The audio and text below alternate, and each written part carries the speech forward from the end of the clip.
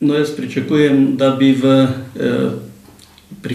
prihajajočem letu eh, tudi v svetovnem merilu eh, bil eh, mir, da bi se začela gospodarska rast, da bi se omogočala nova delovna mesta. Eh, seveda eh, v Evropi eh, so težave in eh, pričakujem, da jih bodo znali voditelji eh, rešiti, tako eh, problem eh, stabilnosti skupne valute evra, kot tudi ostale,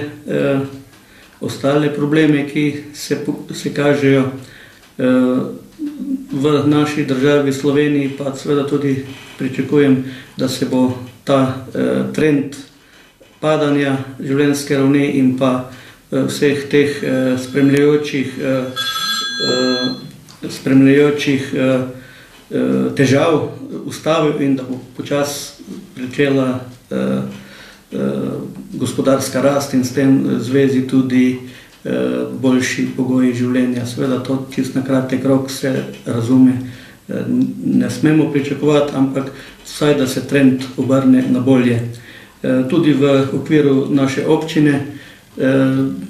imam pa željo, da ta, te projekte, ki smo si zastavili, eh, nekje tudi udejanimo. Mi eh, seveda zdaj, ker nam je ta šesti javni razpis onemogočil kandidaturo za cestno infrastrukturo, razmišljamo, da bi eh, nam pripadajočo kvoto vložili v izboljšanje vodooskrbe na daljši rok, se pravi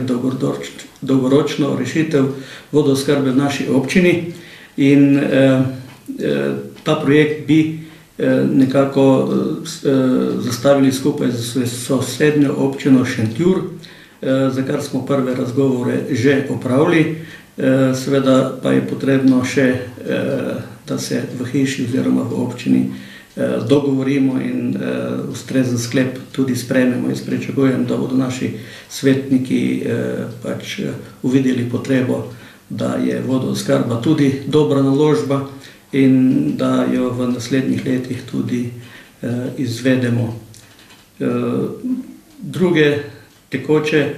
zadeve, pa mislim, tekoče naloge, pa mislim, da nam bo tudi proračun še omogočal, da bomo lahko izvajali, saj eh, vemo, da če bo tu država preveč posegla v